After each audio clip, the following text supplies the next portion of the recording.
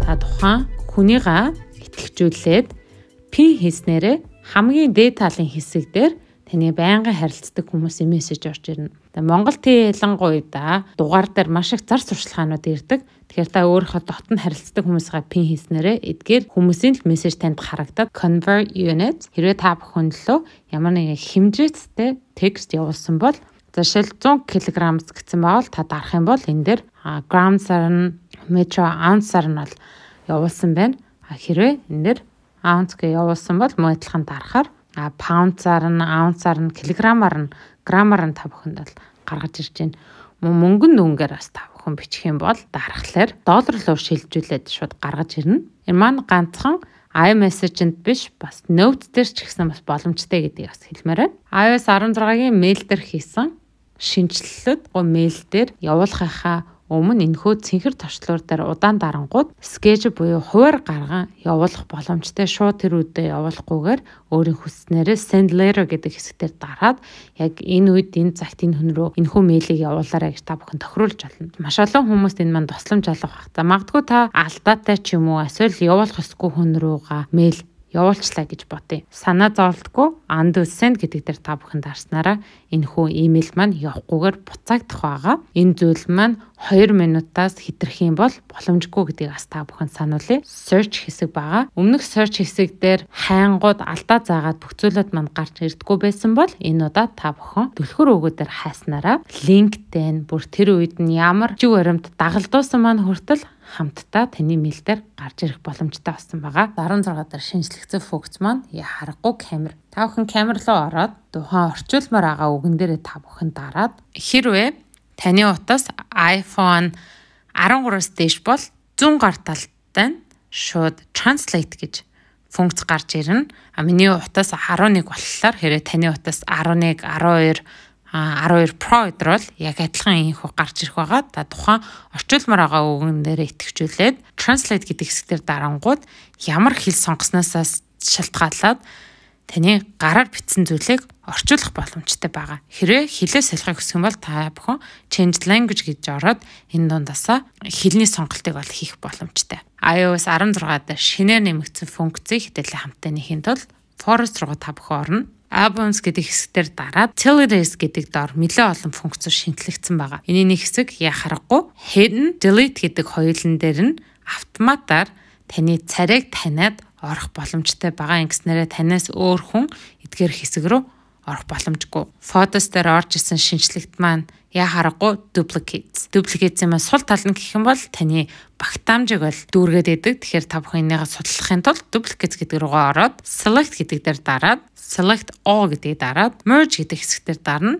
Ингэснээрээ саяны 25 дупликэт байсан зүйл маань нэг зураг болоод орох жишээний. 16 дээр шинжлэгдсэн функц маань яа харахгүй for left тахан өөртөөхөө копи юмраа зургийгаа та бүхэн итгэжүүлээд энэ хүү цэцгийг тэр чигтэн та бүхэнд авч болж байна. Энэ дээр 2 хурууга та бүхэн ашиглах хэрэгтэй гэдгийг хэлмээр байна. Яг одоогоор би баруун гар эрхийн уруугаараа итгэжүүлээд зүүн гараараа дээшээ болгоод өөрийнхөө мессеж руугаа ороод явуулмаар байгаа хүнийгээ сонгоод мессежэн дээрээ зураг тавина Энэ зүйл мөн адилхан давхар сануулхад зөвхөн iMessage дээр болно гэдгийг хэлмээр байна. А явуулахад бэлэн болсон үедээ та бүхэн удаан дараад энэ дундаас хэрхэн яаж явуулмаргаа гэдэг та бүхэн сонгож болно. Энэ зүйл маань iOS 16 дээр байгаагүй гэхдээ сонирхолтой байх болов гэд хүмүүстэй нэмэлт функцийг бас та бүхэнд харуулъя. За магадгүй энэ дундаа та дэлгэцээр тэр чигтээ явуулмар байвал цэцэг маань ийхүү харагдах нь Агүй би зөвхөн баба маягаар явуулна гэх юм бол лайм хийдгээр нь хэдүүлээ явуулангууд энэ маань хөдөлгөөнт байдлаар хүн рүү явж гин. Скриншотыг та бүхэн зүүн болон баруун гар дэтлээ хамгийн ихний давчлуурууд дээр зэрэг хамтаа дарна. Авсан скриншот дээр хүн удаан дарснараа rename гэдэг хэсэг дээр нэр өгөх боломжийг олгож байгаа. Тэгэхгүй өмнө скриншот хийснээрээ маш олон тоонууд хамтаа яваад олон зураг дундаас л хүн хайхад хэцүү байсан байгаа. За мөн скриншот дээр та бүхэн ороод done гэдэг дээр дарангууд шинээр нэмж орсон зүйл маань copy and delete гэдэг хэсэг байгаа.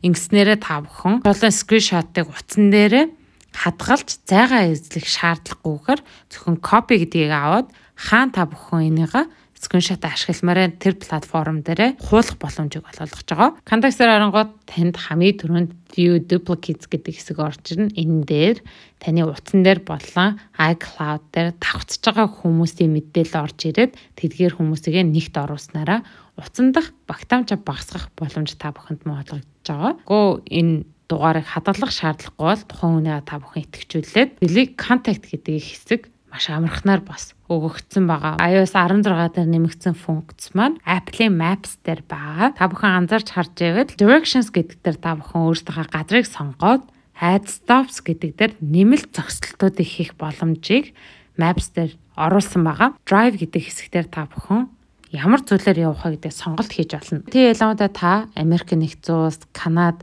За Европын улсуудад байгаа л транзит гэдэг хэсгээр та бүхэн орох юм бол энэ дээр маань хичнээн төлбөр хэр удаан явагдах вэ гэдгийг та бүхэн харахаас гадна энэхүү зүйл маань таны wallet-тай холбогдоод эртнээс автобусныхаа төлбөрийг төлөөд аялах боломжийг бол iOS 16 дээр шинжилсэн байгаа. Хизээ хаана вэ гэдгийг та бүхэн календар дээрээ сонгон таныг аялах үед маш амархан байлгахаар бол энэ зүйлүүдийг бол шийдсэн байгаа. 16 дээр шинжлэгдсэн функц таны эрүүл мэндтэй холбоотой хэсэг байгаа ийшээ хэдүүлээ орохын тулд search дээр Apple-ийн Health application руу орно. Энд орсныхаа дараад нь баруунгаар талын browse гэдэг хэсэгтэр орно. Энэ зүйлүүд маань зарлагдсанаас хойшоо нэлээд олон компаниудыг донцлоход тасан учир нь гэх юм бол эдгээр эрүүл мэндтэй холбоотой тус тусад нь аппликейшнуд байдаг байсан бол тэдгээр аппликейшнийг та бүхэн ашиглах шаардлагагүйгээр хүн өөрийнхөө Apple-аас цаанаас нь өгдөг үнгүй энх аппликейшнийг та бүхэн эрүүл мэндийнхаа мэдээллийг track хийх боломжтой. За жишээлбэл psycho tracking гэдэг хэсэгтэр та бүхэн орснараа эмэгтэй хүмүүс маань өөрсдийнхөө менструацийн хизээ ирж байгаа хэрхэн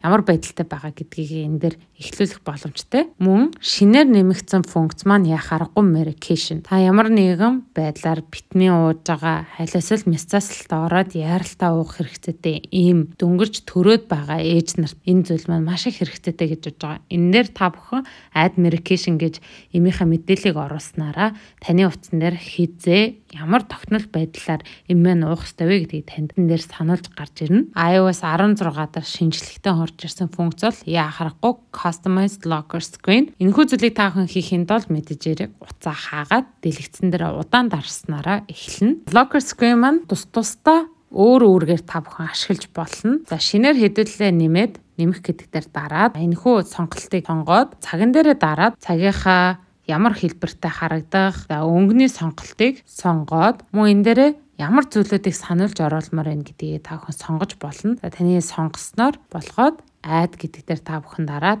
хэрэг хүсэх юм бол энийга цаанаага wallpaper-тайгаа адилхан болгож болно. Тэг шаардлагагүйгээр home screen гэдэг дээр оруулъя. Цаадлага хэсгээр янз бүрийн хийх хэрэгтэй байхгүй болохоор даана гэдгийг дараад энэ маань шинээр таны locker screen бол хийгдчихэж байгаа. iOS 16 дээр жижигхэн өөрчлөгдсөн ч гэсэн хүмүүсийн таашаалыг авч байгаа нэгэн функцийн өөрчлөлт бол яхахгүй. Өдрөө хэдэн хувьд байгаа гэдэг дэлгэцний баруун гар дэдэл дээр хуваар гаргаж ирэх. Өмнө нь энэ функц манд байсан тэрийг байхгүй болгоо одоо буцаагаад оруулж ирсэн байна. iPhone 11 болохоор энэ функц маань ажиллахгүй. А гэхдээ та хэрвээ итгэжүүлэхийг хүсэх юм бол settings гэдэг рүү ороод battery гэдэг рүү ороод яг энэний доод тал battery percentage гэдэг хэсгээр та бүхэн итгэжүүлээд ороход болно. Хамгийн сүүлийн iOS 16 шинжлэгдсэн шинэ функц маань Wi-Fi-тай холбоотой байгаа. Хэрхэн яаж та өөрийнхөө Wi-Fi core-ыг мэдэж болох вэ гэхээр та бүхэн settings руугаа ороод Wi-Fi гэдэг руугаа ороод хажуу талаагаа цэнхэр энэхүү icon дээр дарна. Password гэдэг хэсэг дээр таны царайг таниад password-ийн нууц код маань гарч ирэх байгаа. Та сайн мэддэггүй танихгүй хүмүүстэй энэхүү password-ыг өгч болохгүй шүү гэдгийг бол давхар давхар сануулмаар байна. Өнөөдөр та бүхэндээ хэрхэн iOS 16